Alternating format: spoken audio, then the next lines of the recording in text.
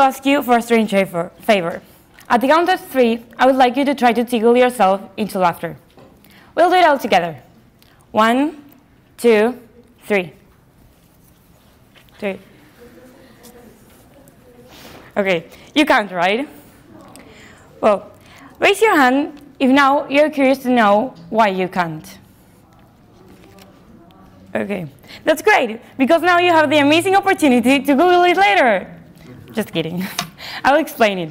But first, let's talk a bit about curiosity itself, which is, by the way, a very curious topic, right? Do any of you actually know why we are curious? Just like tickles, curiosity gives us pleasure. While tickles give us the, pleasure of laughter, curiosity gives us the pleasure of reward. According to a theory of human, curios uh, of human curiosity by the, by the psychologist Daniel Berlyne, curiosity is related to inquisitive thinking, such as exploration, investigation, and learning.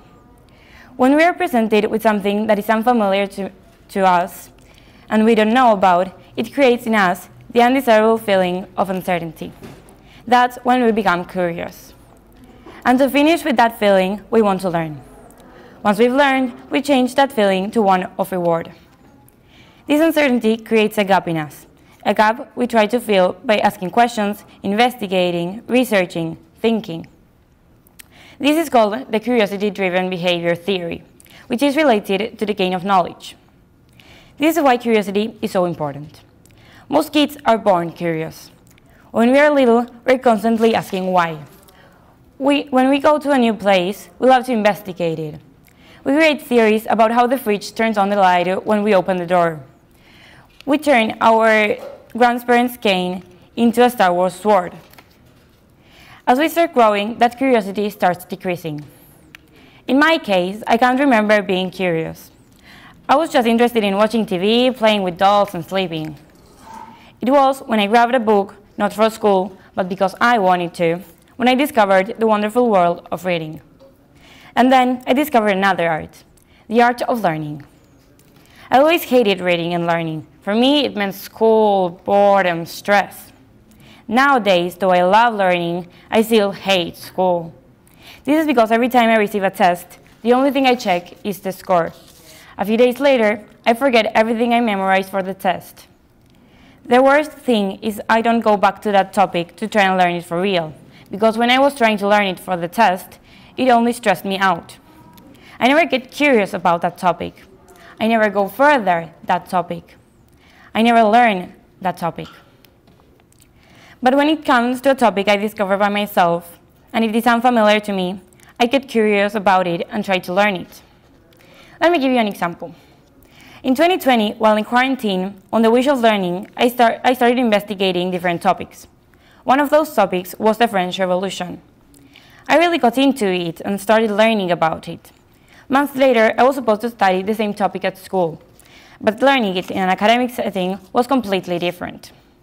I got so stressed, I lost interest and curiosity about it. Later that year, I was watching a movie about the French Revolution, and I have forgotten everything I had learned. Now I'm going to explain to you why this happened. When we find something complex, conflictive, uncertain, or valuable, our curiosity is awakened. In contrast, when we find something boring that lacks excitement, our curiosity is killed. Most of us find tickles valuable and complex. They make us laugh and suffer at the same time. Tests and workbooks, in contrast, tend to be boring and stressful. Let's get inside out. Allow me to present to you the mesolimbic pathway. Research suggests that wanting and desiring information, being curious, directly involves the mesolimbic pathway, sometimes referred as the reward pathway. Now allow me to present to you some of my friends that go around here. This is dopamine, a molecule in our brains that assigns importance to stimuli associated with rewards and increases and increasing reward seeking. Desiring information increases the release of dopamine in the mesolimbic pathway which means when dopamine finds a valuable, complex, and certain gap that filling it would have a reward, it will get curious about it and try to fill the gap with knowledge. You don't even have to compete for this reward. It's kind of a, like a free candy for your brain. During childhood and adolescence, dopamine is released in higher dosage and higher speed, and it's important in development as curiosity and exploratory behavior are the largest facilitators of learning during early years.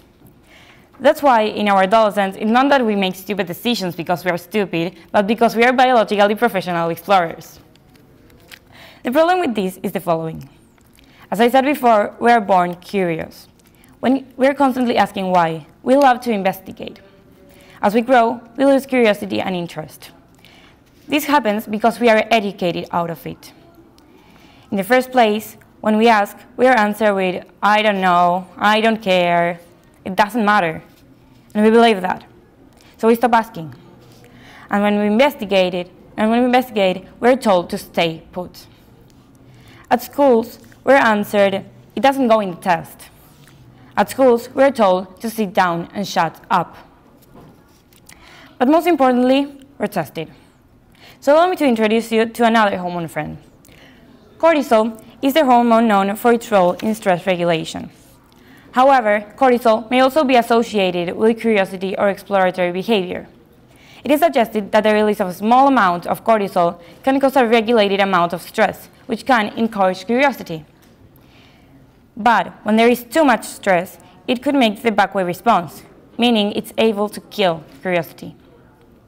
And by the look in your faces, it, it seems that a stressful school life is a phenomenon you obviously know nothing about.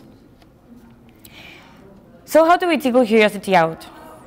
According to the information gap theory by George Loewenstein, there are three big things school and all educators can do. Firstly, open the gap. Students need to reach the edge of the first cliff. Our brain is designed to notice when things change. The best way to get people's attention is to break a pattern. Also, explain why the topic we're about to learn is important and how it will benefit us. How can we use it? Otherwise, our brain will decide it's not valuable and forget everything we've learned after the exam. Then, encourage curiosity. Students need to feel curious enough to know what's on the other, to want to know what's on the other cliff. Give some knowledge and fill the gaps. Answer questions. Whys. Lastly, don't kill curiosity. Students need to help jumping, need to help jumping to the second cliff. Don't stress us out. Stop focusing on exams and exams only, and focus on us actually learning. But we, as teenagers, also have a responsibility for our own education, not just educators. So, what can we, students, do? Well, let me now explain to you why you can't tickle yourself. Your cerebellum, which is another part of your brain, predicts when you're about to apply pressure to your own body. So it communicates with another part, with the other parts of your brain, sending signals of when and where you're moving and how much pressure you're likely to apply when you touch something. And given that your brain has information to execute and sense your touch, it can reduce activity in your somatosensory, the network of neural structures in your brain and body that produces the perception of touch. I don't know if everyone understood what I just tried to explain. But just in case, the point is that if you already know you will tickle yourself, your body will prepare for it and won't feel tickles and won't produce laughter. So you need someone else to tickle you. And that's why they're so amazing. Tickles are maybe the only human physical experience that needs the participation of another human in order to exist. I believe something similar happens in education. Education can't be just a service provided by teachers to students. Education is an encounter, a connection.